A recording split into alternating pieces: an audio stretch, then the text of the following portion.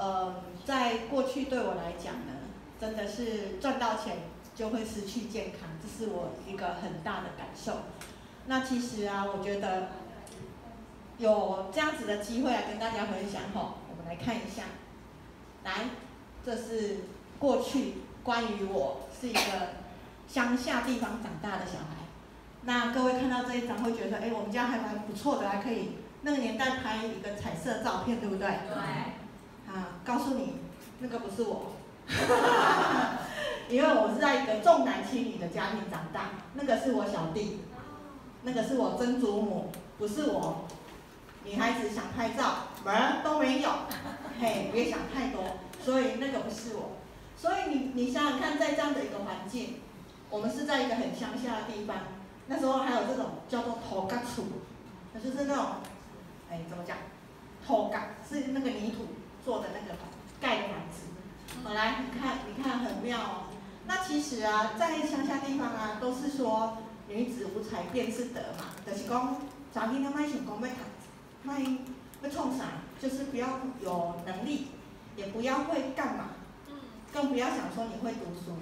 所以呢，我在一个很我很喜欢读书，也很爱学习，可是呢，我没有环境，也没有资源。很妙，我必须呢，只有学会赚钱，所以呢，我不敢梦，也不敢想，因为是一个很很乡下的小孩哈。那其实因为从小就是贫苦，所以呢，经济压力呀，现实生活的提醒，还有传统观念，让我不能拥有你想要拥有的。我所以呢，我不敢梦，也不敢想。我记得我在读国中升高中的的阶段呢，我也考到一个很好的学校。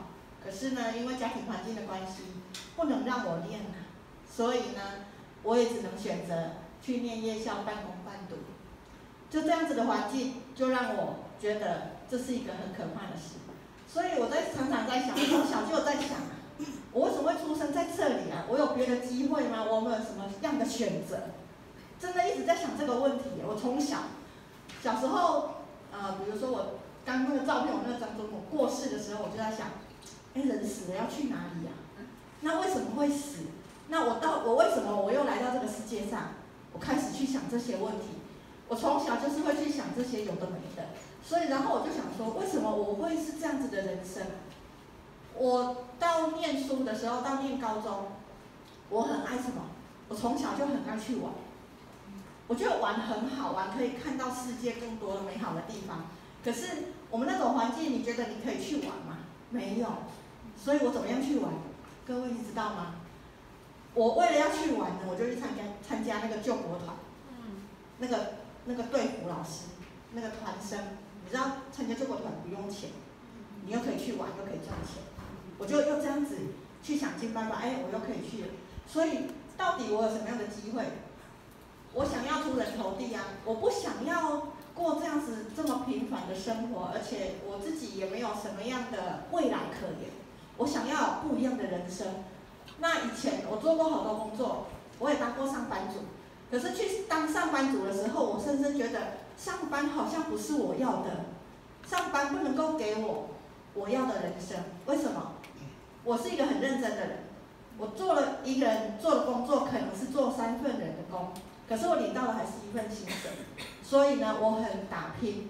到念高职的时候，我念商的，可是呢，我刚好进入一个建设公司，那老板就会说：“哎，你去考证照。”，我就跟着去考证照，所以我就一步一步往工地走。那到建设公司一个阶段结束之后，我又跑去开花店，为什么呢？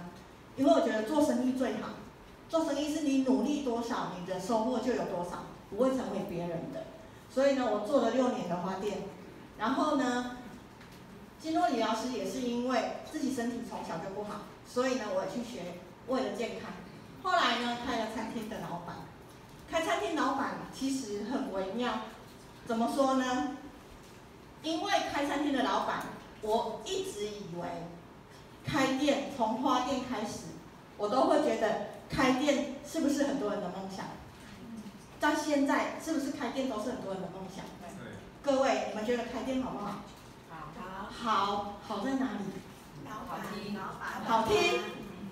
我告诉你，老板娘哈，对，以前我也觉得说开店最好，这是很多人现在的梦想，对不对？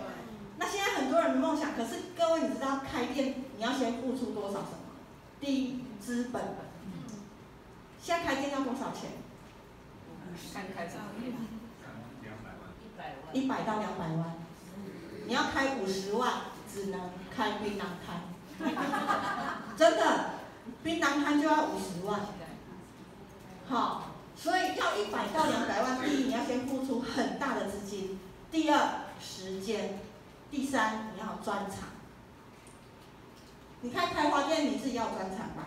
你要有能力包花束，能力插花，你要能够场布，这个都是你必须要专长。再来，开餐厅的老板，因为我自己会做菜，所以我在那一块不会被被红雕掉，就是不会被人家为难。可是相对的，你必须亲力亲为，你让你自己没有呼吸的空间。所以第一要资本嘛，再来时间，我一天呐十七八个小时，全部都在店里面，从早上五点多磨豆浆，一直到下午打烊之后要做馒头，做到晚上十一二点，几乎每天都过一样的生活。所以我不知道各位觉得开店好不好？现在很多很多要创业，有没有？都讲创业，创业。甚至加盟，甚至连锁，再来文创，现在最流行的，很多人开文创店，对不对？因为他觉得文创是现在最好的。可是你知道吗？当你开了一家店，你每天准备多好多少的食物，或者是你的原物料，或者是你的商品，接下来你做什么事？等。对，等客人上门。如果没有客人上门，你要怎么办？关门。来，我来看一下哦。关门的时候，我们也很真的关门了。可是你来看哦，你当你要准备的时候，像现在最近不是一直下雨吗？对。菜价是不是上涨？菜价有没有很贵？有。有嘛？对。对啊，那像我以前如果是开餐厅的时候，你要不要买菜？要。你今天有多少客人来？不知道。对呀，不知道。可是你今天，你先买五颗高丽菜，还是买两颗高丽菜？五颗。对呀。好，成本来了。那员工要不要来上班？要。要不要薪水？要。店租？要。水电？要。所以我，我到最后，我现在会跟我的伙伴或者我的朋友，他每次跟我说：“哎，冰云姐，冰云姐，我想开店。”我说：“好啊，那你要开什么店？”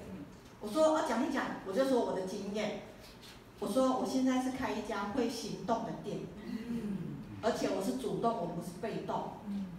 因为开一家店就好像是建造一件一座美丽的监狱，把自己关在那里。你每天都只能在那边等客人呢，每天都怎么样等？有几个客人来不知道，可是你只能怎样？每天日复一日，年复一年，还是这么做了，因为那叫做什么？宿命，因为你逃离不了这个，所以呢，其实人生真的很微妙。那你知道我小时候的梦想是什么吗？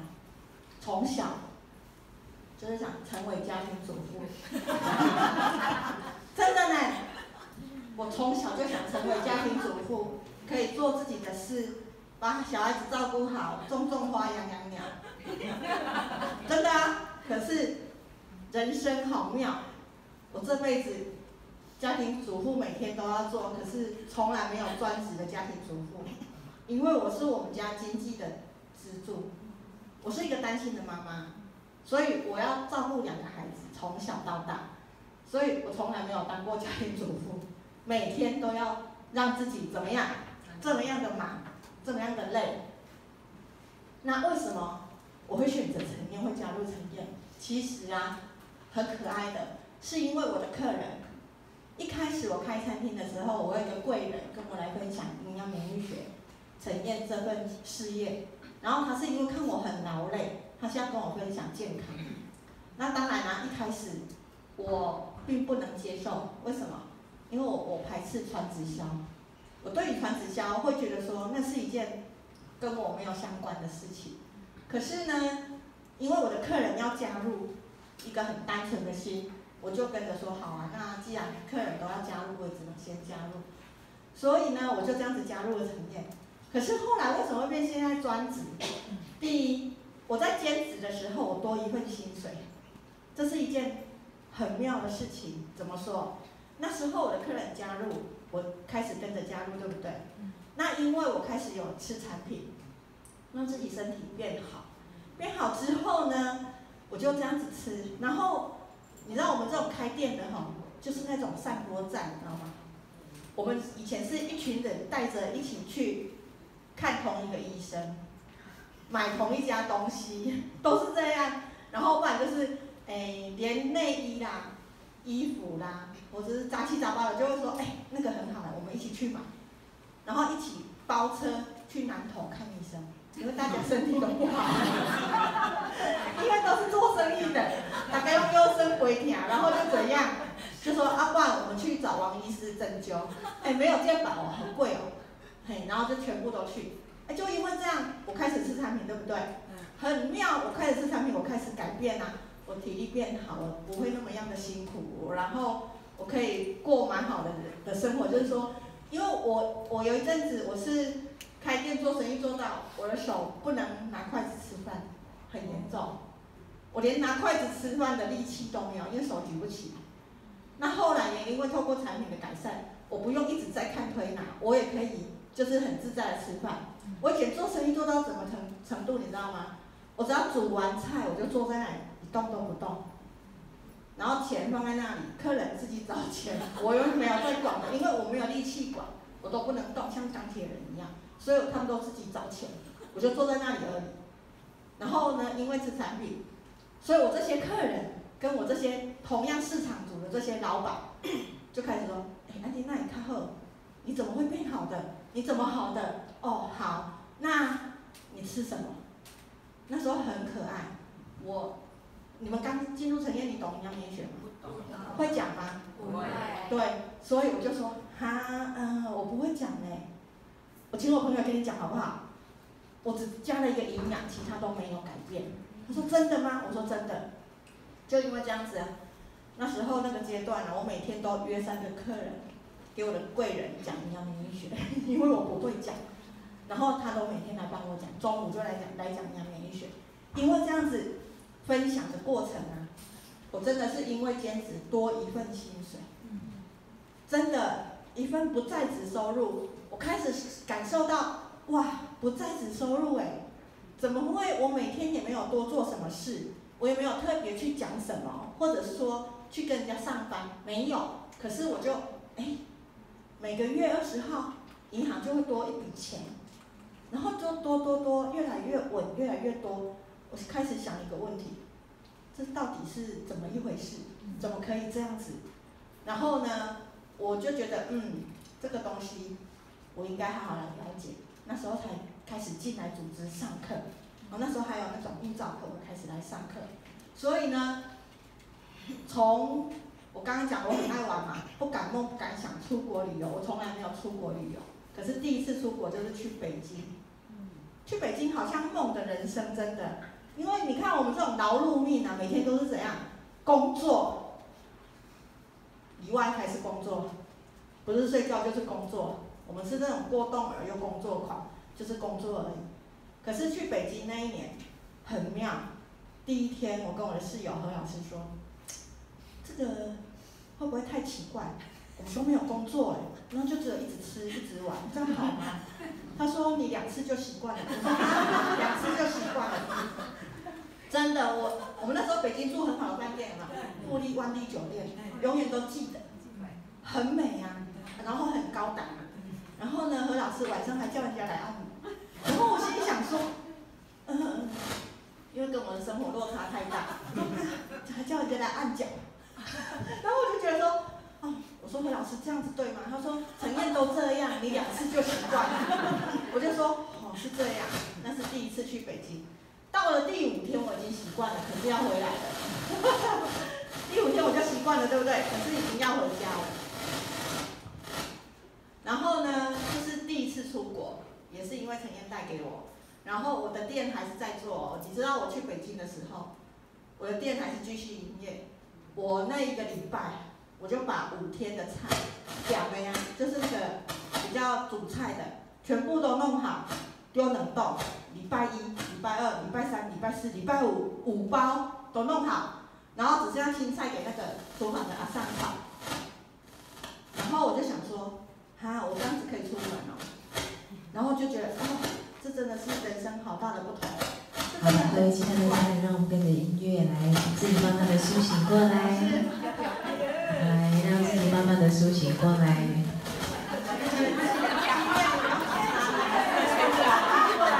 可以来伸展一下我们。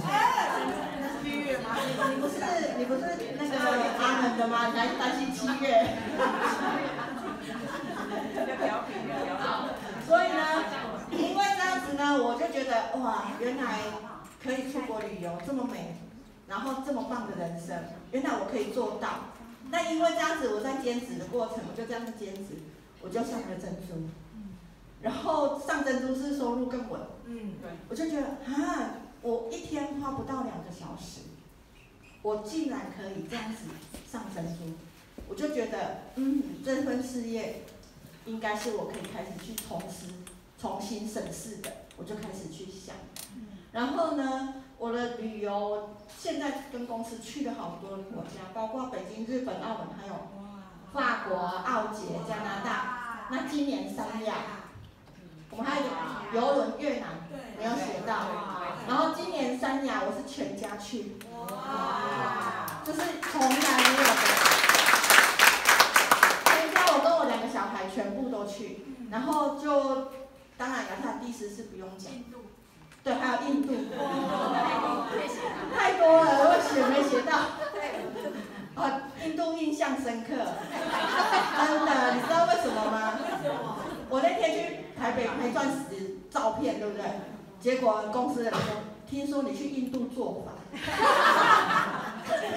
我说没有啦，我不是去印度做法啦，只是刚好有有有那个机缘有需求，然后。就觉得你看去了这么多国家，我开始觉得从北京让我的旅游魂唤醒，我深埋在内在的那种旅游魂，因为生活的现实的磨难、种种的压力，我已经忘记旅游这件事，因为我必须只能养家，我早就忘记这件事。可是从去了北京之后，我开始觉得，原来我可以做到。原来我可以找回我原本想要的我，这就是最大的不一样。再来，为什么要改变？其实，你说传统事业，我刚刚除了讲资金以外，除了时间以外，还要你有专长以外，你知道最难的是什么？开店最难的是什么？人事。你怎么知道？就是人事。人事对我来讲是最大的折磨。你知道吗？我开店的时候啊，我们做这种宝贝餐厅的，菜色要很多，量要很大，对不对？那如果今天天气很冷，你会去外面吃还是自己煮？自己煮。自己煮。自己煮哦。来，问题来了，大家都要来家里来我们店里吃，对不对？那我呢，请一个姐姐，大概大我两岁。那个我我店已经收掉。四四五年了，可是以我们这种年纪，洗菜不是问题吧？嗯。可是你知道我那个姐姐跟我说什么吗？三天就没有来啊，来上班三天，第三第第四天就没来了。我说，请问怎么没来？怎么样这样子？你知道她说什么吗？她说：“老板娘，水太冷了，洗菜受不了了，等天气热我再来。”现在听起来觉得很好笑，我当下都三条线。水太冷，啊，不然洗菜可以用热水嘛，对不对？然后难道你是家庭主妇，在家里不用洗菜吗？对不对？然后呢，我就想说，员工年龄层总是要一些分布嘛，所以我请了一些攻读的那种大学生，那个是早班的。然后呢，每天早上她男朋友都来跟她吃早餐。我是觉得也还好，没关系嘛，年轻人，他本来就要吃早餐的时间，你就可能很甜蜜嘛，你就坐着常常吃早餐店，每天我觉得没关系。有一天呢，她男朋友跟我说一句话，阿姨，真山哈太粗重了，不要给他做。我说怎么了？哎，真山现在怀孕了。我想了三天，我把她辞退了，因为我也没原无要帮她生啊哈。这个是在第一点。第二，你不能做，你说粗重不能做啊，我请你来干嘛？红茶桶不能提，拖地不能拖，啊，我是请你来干嘛？奉养。我跟你讲，应征的时候有有一个笑话更好笑，我曾经就是缺人就应征嘛，结果他应征的时候他就说，我就就面试聊聊聊，工作范围讲一讲，有一个小姐跟我说。啊，要做这么多哦啊！我不是来坐在柜台收钱就好吗？我心里想说，如果只有这个缺，我老板我自己不会做吗？真的，所以我我深深的觉得，传统事业的危机最难的是人。然后呢，还有一个东西，物价的上涨。嗯。它已经让我没有利润空间了。我讲真的，我从刚开始做生意哈。我还可以大概五五，我就是说利润有五成，五成你再 cover 掉种种的，大概还可以赚到三成。可是现在啊，赚不到了，现在大概两成，两成利润你扣掉，大概剩下零点五。真的，你相信我，现在做生意真的很难。不要以为做生意有多轻松，不轻松。我很佩服，我现在如果去吃饭，我很佩服。开店让我吃饭的人，因为没有利润可言，他们是赚干爹钢筋呐。可是如果我怎么想，如果以我的技能啊，我的专业，我去给人家请，我一个月还有六万多块。所以不如讲套路啊，你懂意思吗？所以事业的危机是在什么？这些都够足够打败我了。然后呢，我的外送便当一天要一百多个。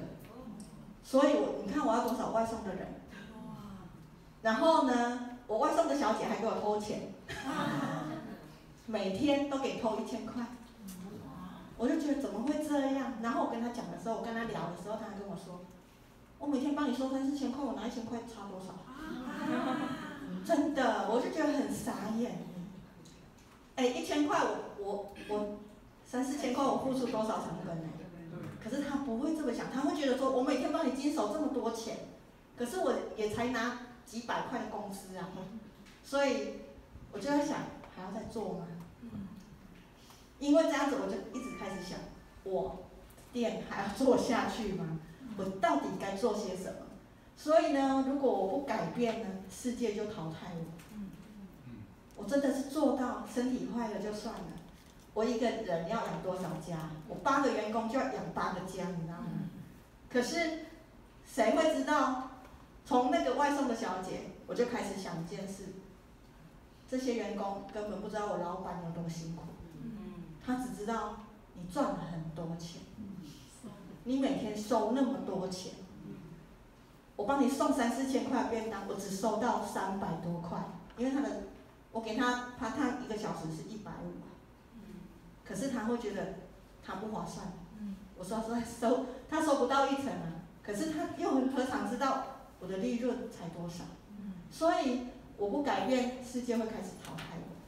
那也因为刚刚我不是从兼职嘛，我就开始来想传销事业机会，所以我开始想到，我兼职我都可以有这些收入，我这些收入甚至有时候月营收，我店里的月营收。会跟我的陈业收入打平。当我只是合格珍珠的那个月，我的月营收就跟我的打平呢，真的是一件可怕的事情。然后我开始想，我每天只花两个小时做陈业，可是我每天花十七八个小时做我的店，为什么落差这么大？是，我每天在等客人，跟我积极的去招我的伙伴，这是很大的不同。所以开始让我觉得，我真的有很多可以开始调整的，开始改变。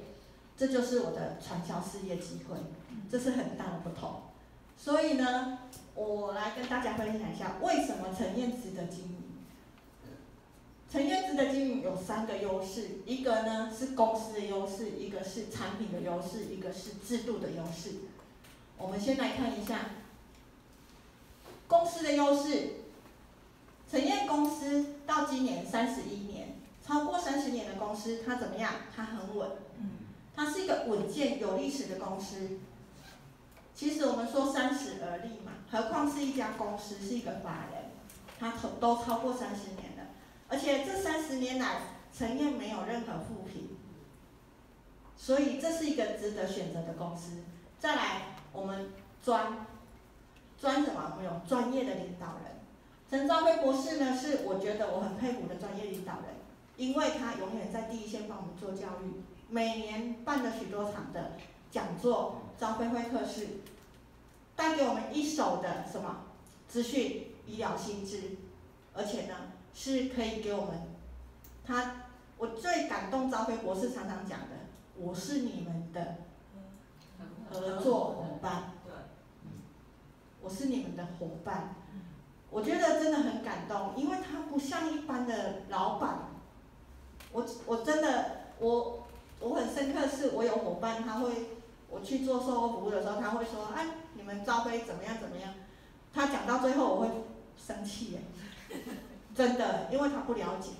可是他又来批评，我就受不了，我就会跟他翻脸。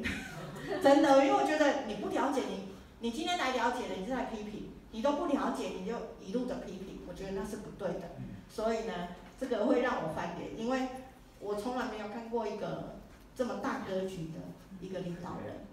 然后新是什么？我们的创新研发实力很强，我们不断的有新的产品上市，而且呢，走在时的时代潮流的前面。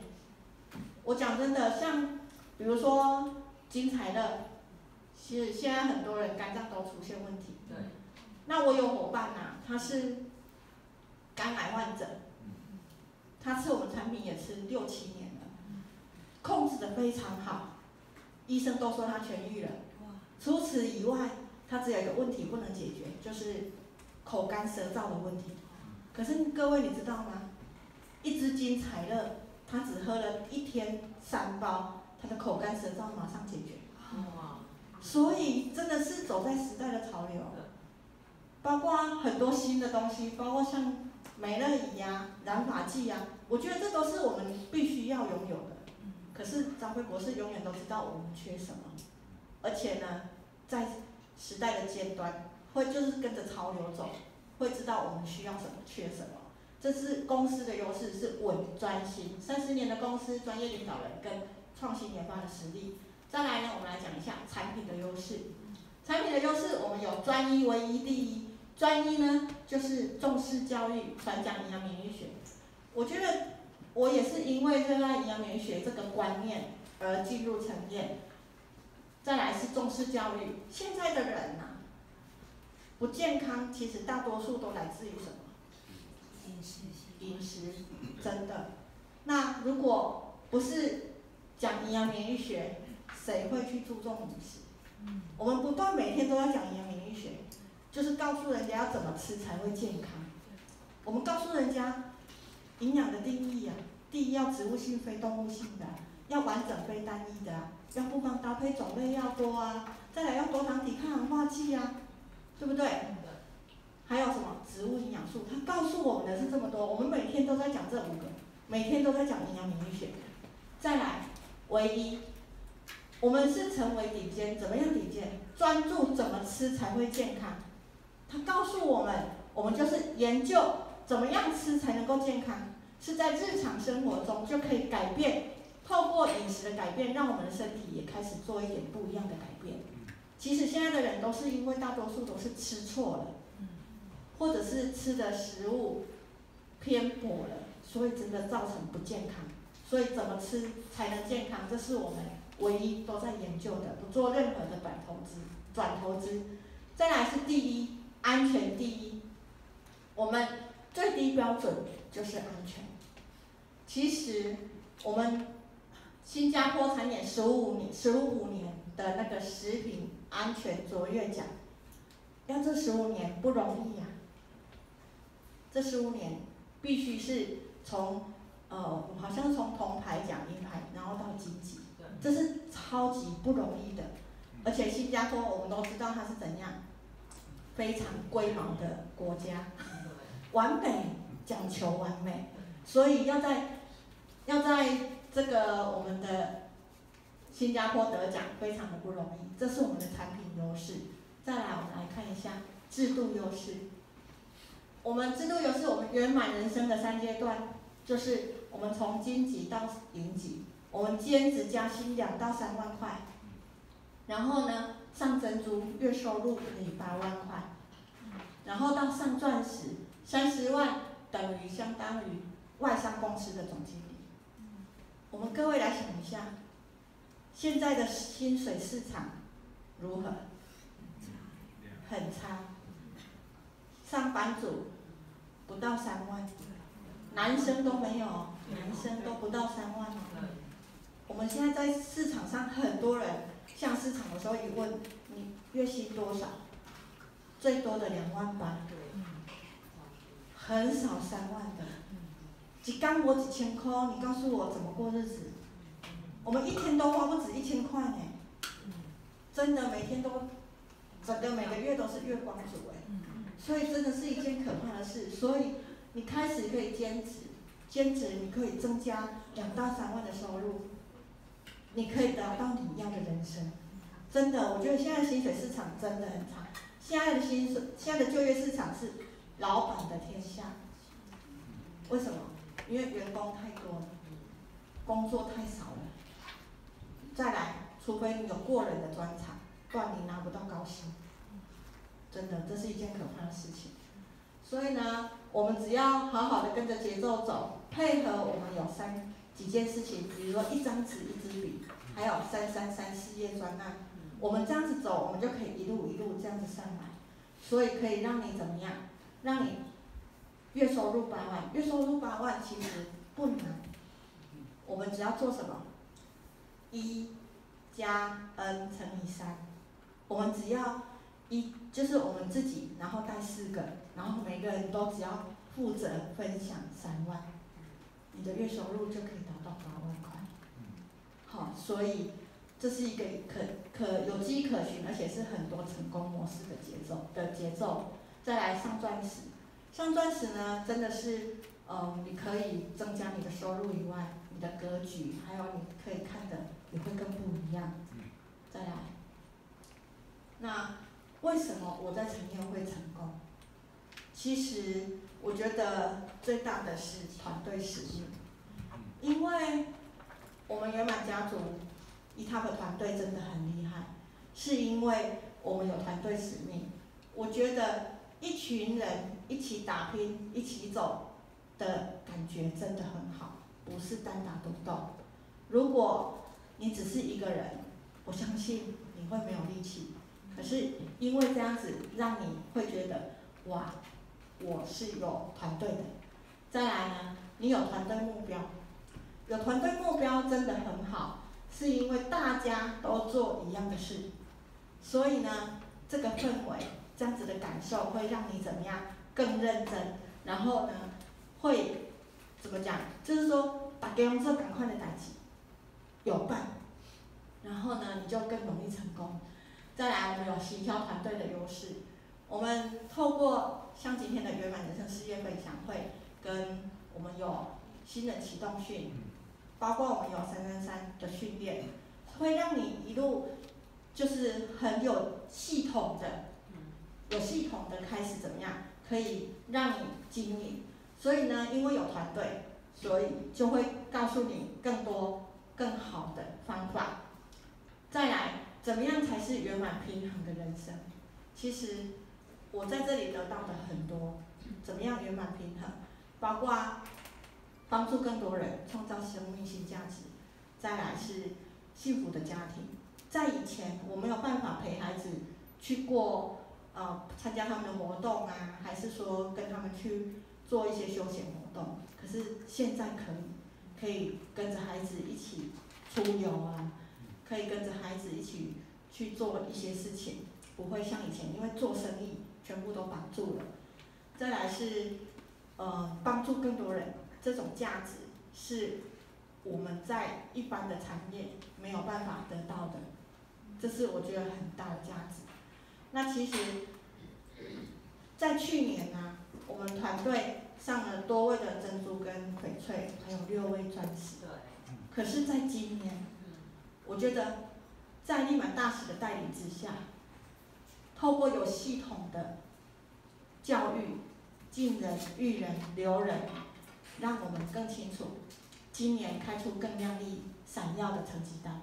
对，像今年刚刚主持人有讲，我们十三位珍珠、四位翡翠、八位钻石。对，哇，我觉得让我很感动。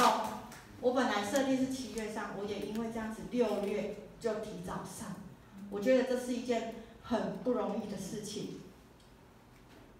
所以呢，我六月就上钻石，这是那天去台北拍的哇钻石。所以不是个人有多厉害，是对的环境。只要环境是对的，你就可以过得更好。环境对的，你就可以让你成长更多。所以团队很重要。我们来看一下影片。